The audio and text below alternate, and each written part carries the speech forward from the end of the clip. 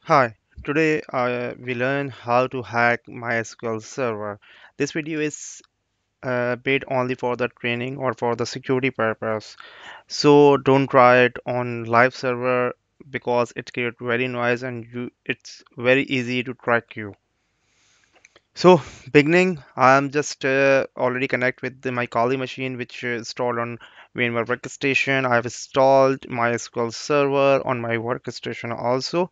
So just uh, first I am going to scan uh, MySQL port uh, which is 3306 by default to scan the port I'm using Nmap because it's a very good software to scanning ports and scan any services. I'm using switch minus p double three zero six and the host IP three dot hundred um, pros.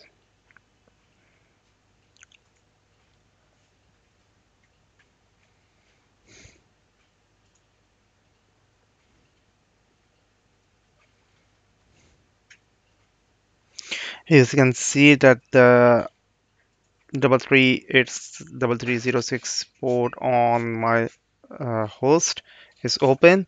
Now I'm going to attack uh, on my MySQL server. I'm using Hydra.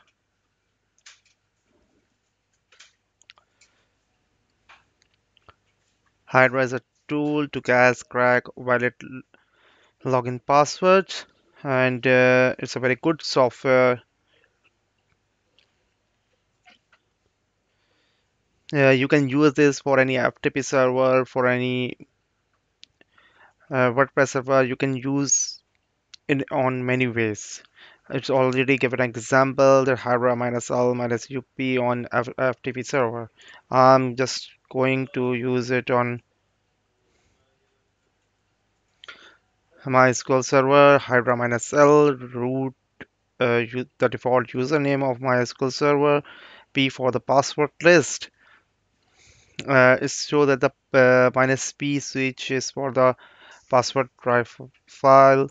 Uh, I'm using the file which is already being available on Kali Linux.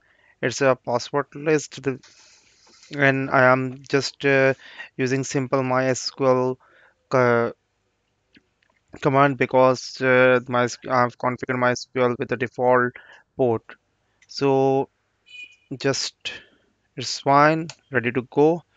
Now you can see that it's attempting, a lot of password with the default username root.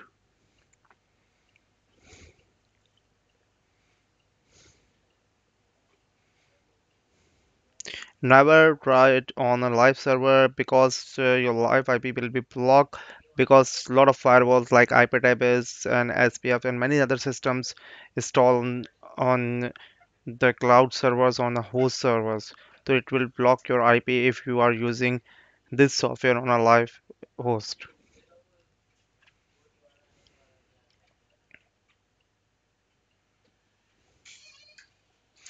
Uh, you can see that it's found a very weak password clerk, uh, which I have already configured on my host machine. Just check. Uh, I'm going to check the username, user credentials. MySQL minus u switch for the username root minus p for password minus h for host and define the host IP here is asking me for the password. I've entered the passwords. You can see that it's connecting successfully. So never configured a very weak password on a live host on a MySQL database server. So thanks for all and thanks for watching. Please subscribe my channel for more interesting videos